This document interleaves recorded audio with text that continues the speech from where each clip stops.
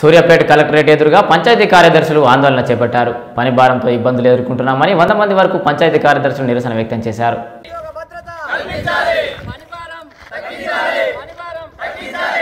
రాజకీయ నాయకుల ఒత్తిళ్ళు తగ్గించాలి.